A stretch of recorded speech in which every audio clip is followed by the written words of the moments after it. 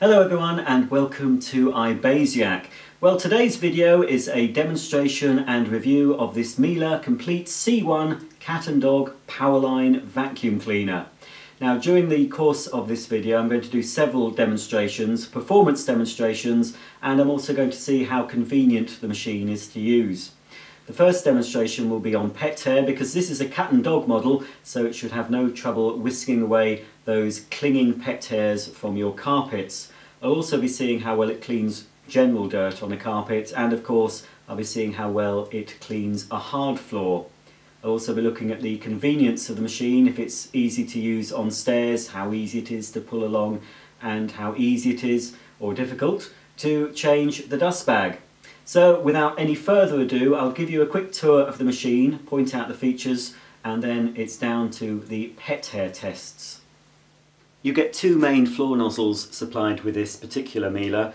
The cat and dog turbo brush, which is designed obviously to clean cat and dog hairs from your carpets.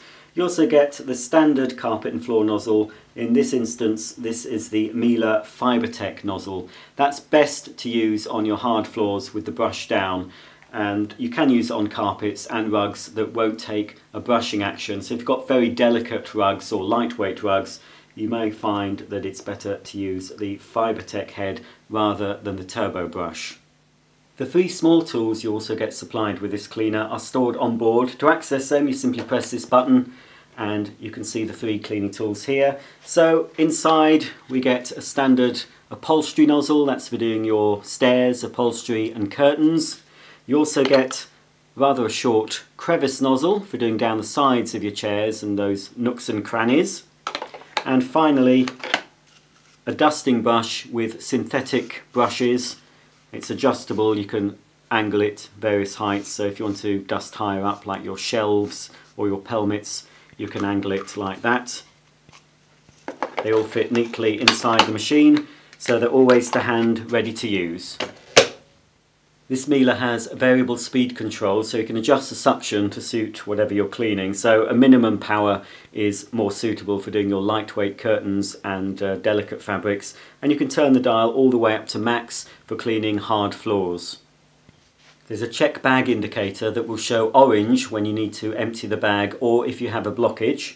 And to access the bag you simply lift this cover and as you can see it takes Miele HyClean FJM bags identified by a red collar. So when you're looking for new bags, make sure it's got a red collar and it will fit this machine. Behind the bag, I'll just remove it, it's a little bit stiff because it's new. We have a motor protection filter. That's normally included with the pack of bags you get from Miele. As long as you buy genuine bags, you should get a spare motor protection filter. The filter you don't get, and you do have to replace approximately every year is the active air clean filter.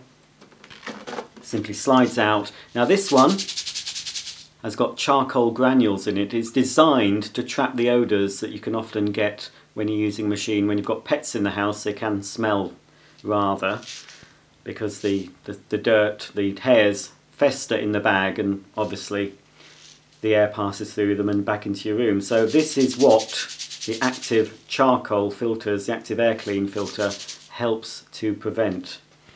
That slots back in. There is a new device on Miele filters, this time strip, it is supposed to indicate when you need to replace it. But I would say, depending on use of course, once a year should be sufficient. Just slot the bag back in. If you don't put the bag in correctly, it won't allow you to close the bag door. On the back of the cleaner you've got a parking slot so you can easily park the wand and whichever nozzle you've got fitted. There is a little parking bracket on the turbo nozzle and also on the regular Fibertech nozzle.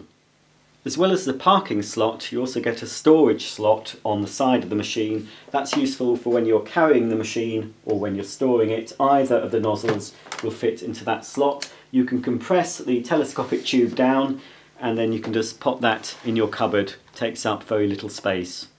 When you finish cleaning there's an automatic cord rewind feature with a large pedal you can either press with your foot or your hand.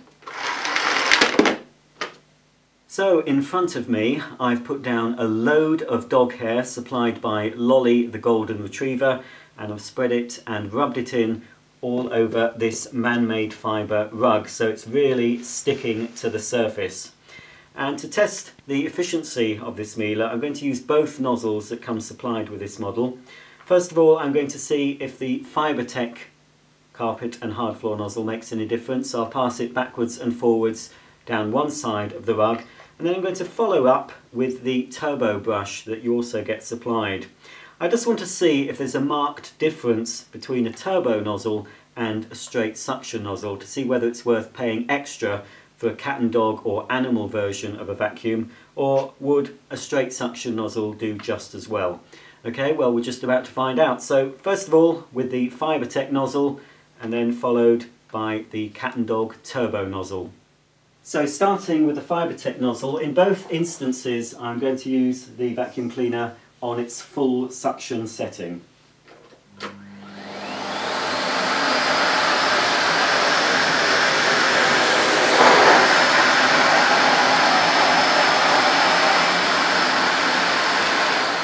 Well, as you can see, I thought, to be honest, I thought it would do a bit better than that, but it's basically just it's just tickled the surface of the dog hair. I don't think it's removed very much. Some of it has stuck to the bottom of the nozzle when it's not actually being sucked into the machine. I suppose if I rub and scrub I'll probably get a better result than just the straightforward back pass. But anyway, I'll pop that down and attach extension wand to the turbo nozzle. I think this is going to make a difference, let's hope so.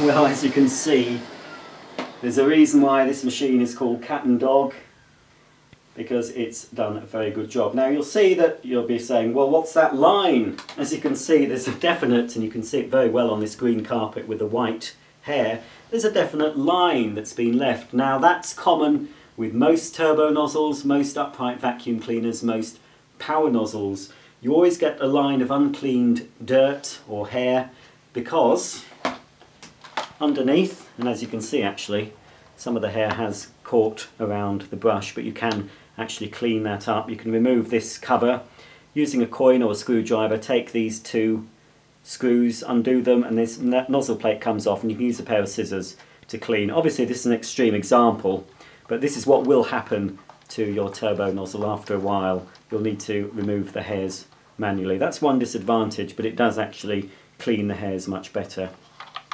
So, as I say, that is a very good result.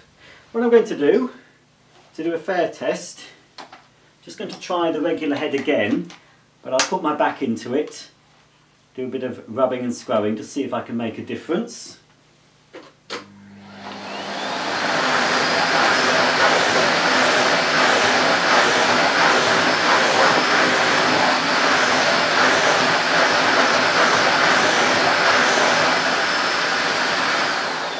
Far too much like hard work. It might have picked a bit of it up, but I was really pressing down. And any more of that, well, that's too much like hard work for me. I'm not going to be doing that. So, let's use the Cat and Dog Turbo Nozzle. And hopefully I'll be able to clean all this hair up in just a few minutes. Or not even that.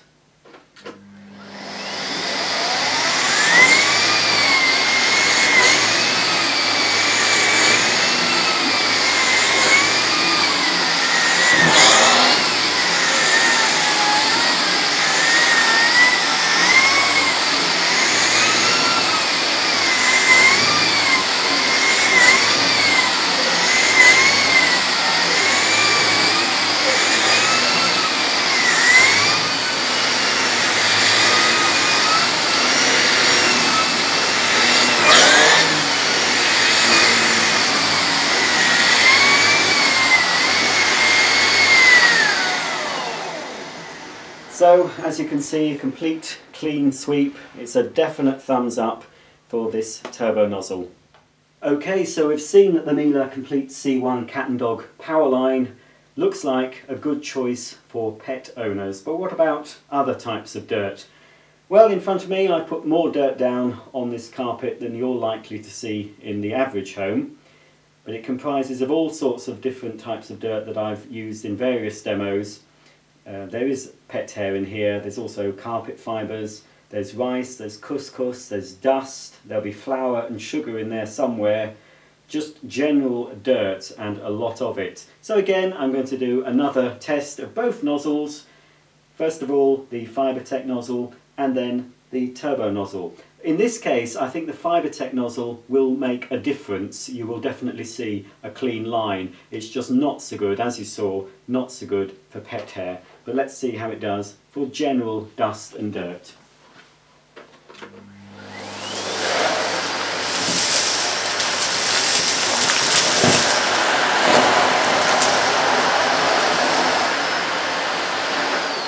as you can see, that's a definite improvement. Looking closer, it's got rid of all the dust, it's got, got rid of all the large particles, but on closer inspection, there is some dirt left. There's, it's very hard to pick up on camera. It looks very impressive in my viewfinder, but it's not quite so impressive when you look close up. I can see some black dog hairs from my other dog still in the pile. Obviously I've just gone back and forward a couple of times. So it's, you know, it probably would pick it up with a bit more rubbing and scrubbing, but why should we? We don't want any hard work when we're cleaning. I need to clean this carpet. So this side, I'll just take off the nozzle. Incidentally, all the attachments, the main attachments fit with Miele's click fit system, which is very convenient. So the nozzles stay put, trying to get, there we go, stay put very securely.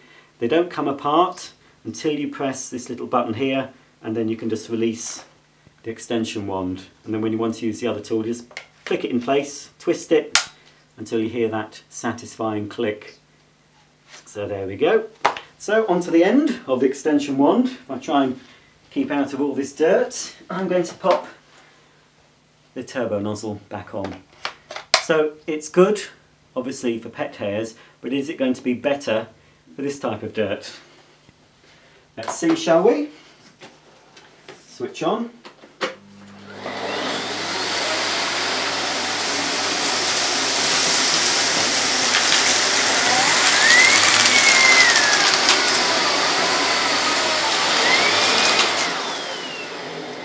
Struggled a bit.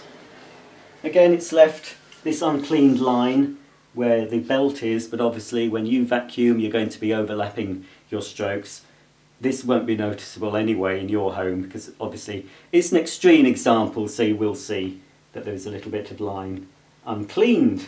But in the areas where the brushes have been, it's certainly an improvement. It's not a dramatic improvement, I have to be honest, between the straight suction nozzle and the turbo on this particular test. But the turbo nozzle, although yes it does add to the noise of the vacuum cleaner, it is a lot easier to push than the standard nozzle. So if you find you know, vacuuming a little bit more difficult, a cleaner with a turbo nozzle, certainly a Miele with a turbo nozzle, nozzle, you'll find it's easier to use. Anyway, I can't leave this mess, so I'm just going to clean the rest of this up at the sort of speed you would use when you're vacuuming.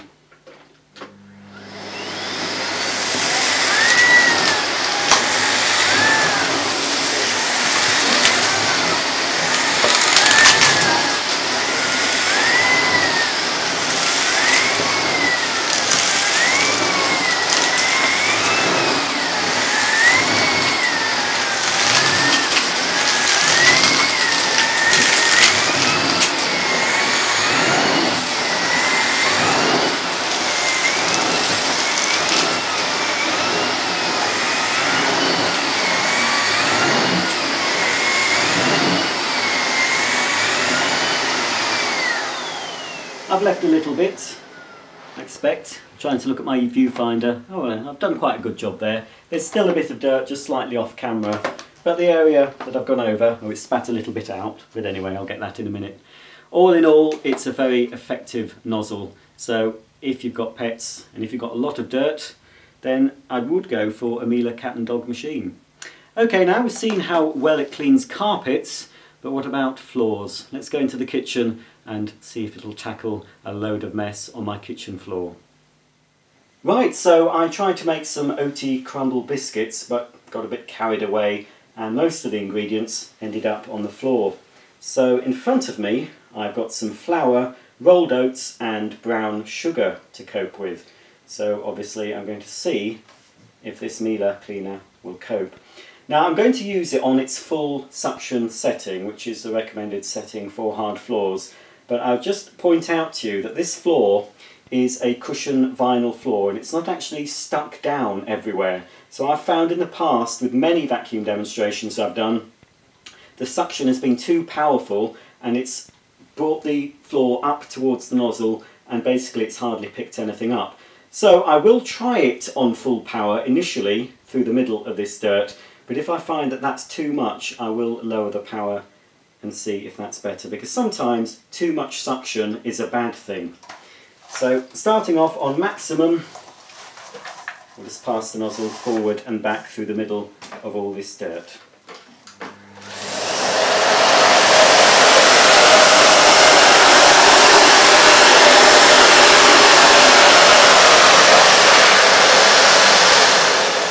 Wow, I have to say that's pretty good. We should have let the machine run a bit longer. It spat out a little bit at the end, just off camera. Now obviously it's not complete clean sweep because I did see on the reverse stroke that it seemed to be picking up the floor more than the dirt, so it was sort of leaving some. So I'm going to try it just to, just for fun, just to see anyway. I'm going to try it actually on its minimum setting, the lowest suction available and just see if it'll pick the dirt up without actually sucking the floor up.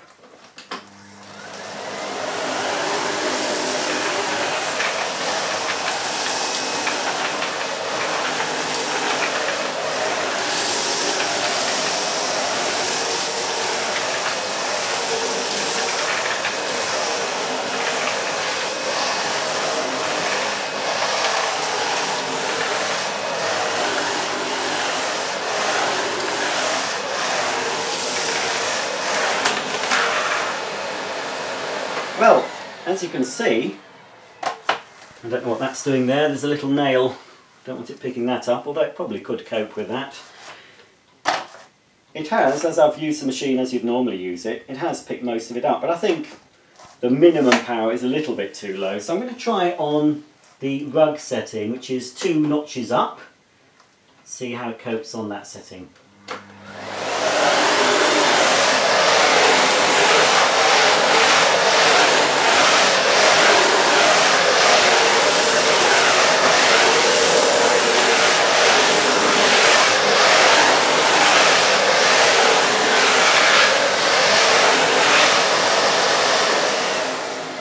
A good compromise. For my particular floor, obviously you'll have a different floor. You might find that maximum suction is necessary if you've got floorboards or like a stone floor. You'll probably find that you'll need the extra suction. But for a cushion vinyl floor, you'll find that you won't need the full force. And what I will say about this nozzle, which a lot of nozzles does do, it doesn't have the snow ploughing effect. Normally, I'm using a nozzle like this and it can be pushing a lot of the larger particles, especially in this case the rolled oats, would be pushed in front of the nozzle and not picked up by the machine until you tilt the nozzle back and go over. But with this one it's not snow ploughed. So for hard floors too it's a definite thumbs up. Carpets excellent, hard floors excellent. It's no more than I expected from this Miele vacuum. I'm sat on my stairs now to see how convenient this Miele cat and dog vacuum cleaner is to use on your stairs. Now it does stand on its end for stair cleaning which makes things a bit easier but I'm just going to find out how many stairs we can clean first without having to move the machine. So I'll pop it down at the bottom of the stairs and see how many steps we can get up. So I've positioned the cleaner at the bottom of the stairs, stood on its end to hopefully give me a little bit extra reach Let's see how many stairs I could safely clean. Right, so let's see how many stairs I can clean with a machine safely at the bottom. One, two, three, four, five, six. So you can safely clean six stair treads with the machine at the bottom of the stairs. If you want to carry on cleaning the rest of the stairs, It's, it's not the lightest machine, it's not the heaviest, it's got a nice carry handle. So if you've got the strength, you can actually carry the machine with one hand while using the nozzle with the other. Although, because it will stand on an average step, you can position the machine a little bit further up and continue with your cleaning. You'd have, have to put it up a little bit further than I have to get to the top step, but it's easily doable. I've got two flights of stairs in my house, so like many people, I need a vacuum cleaner that's easy to use on stairs. I won't pretend that it's not as easy as, say, a little handheld vacuum cleaner, but this will do a better job. You can use, of course, the small nozzle. Let's pop the machine down. You can use the small nozzle for the stairs. Obviously you can use the crevice nozzle from time to time to do around the edges, but you can also fit, I'll just grab it, you can also fit the main turbo nozzle directly to the end of the handle. So basically now you can clean your stairs in much less time like this and also you've got the benefit of the rotating brush so it's helping to lift the pile and if you've got dogs that like to go or cats that like to go up and down your stairs and leave a trail of hair obviously the turbo nozzle is the best nozzle in this instance. Well that just about ends my review and demonstration of the Miele Complete C1 Cat and Dog Powerline Vacuum Cleaner. Would I recommend it? Yes, 100%. You can't really go far wrong with a Miele Cat and Dog. If you go for this model or one of the other models you can get in the range, they all do a fantastic job in my experience. I can only show you what I've experienced in my own home. Obviously, homes, carpets, flooring, they all differ. You might get different results in your home, but normally it's a pretty safe bet. When you buy a Miele, you're buying a decent vacuum cleaner. Now, if you want this machine, I believe it's only available at the moment from Currys stores in the UK. It's an exclusive model to them and it's based on an older body shell design. There are newer designs of cat and dog machines you can get. Uh, I can't think of the names at the moment. They begin with C. I think it's a C3. But there's other versions you can get. You can get a more compact, lighter version as well if you want something lighter. And of course, there's a multitude of different Miele machines you can buy. Just check Miele's website for their full range. Hope you've enjoyed the video, hope you found it interesting. There will be some more Miele cleaners coming up on my channel, so please subscribe and you'll be notified when I upload those demonstrations. So until the next time, thanks for watching and I'll see you soon.